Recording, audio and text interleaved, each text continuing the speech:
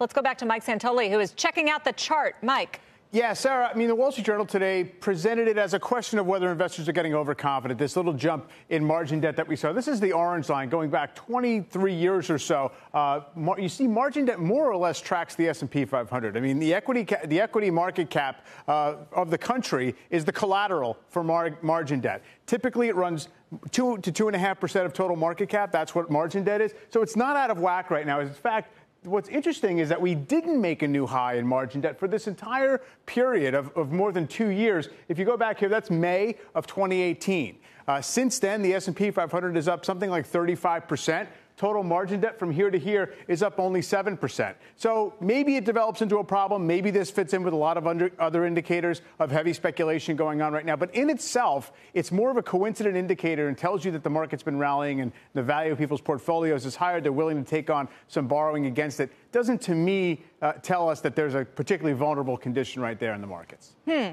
I love when you debunk the Wall Street Journal main stories. whenever, what whenever it merits.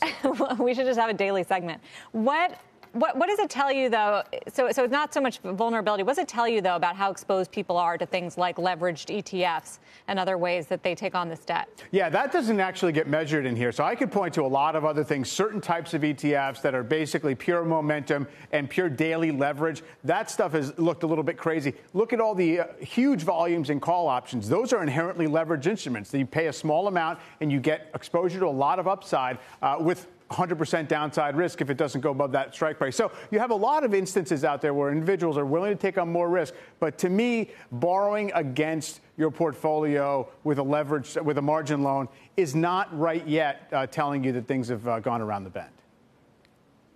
And, and, so, Mike, would this include big hedge funds that, that use leverage within their strategies or, or, not? Yeah, it does get captured in a lot of it. I mean, not all of it, I don't think, is necessarily technically kind of New York Stock Exchange margin as they measure it, but it would uh, get you some of that. Now, hedge funds could also be using leverage of other sorts as well with futures and all the rest of it. It's difficult to, to capture, you know, that, that kind of financial exposure uh, in a snapshot form. But yes, it, it would include some of that, although largely it's, a, by the way, you don't have to use a margin loan to buy stocks. You could buy, you could borrow against your uh, portfolio at a retail broker and go buy a boat uh, if you wanted to, which is not something I would advise.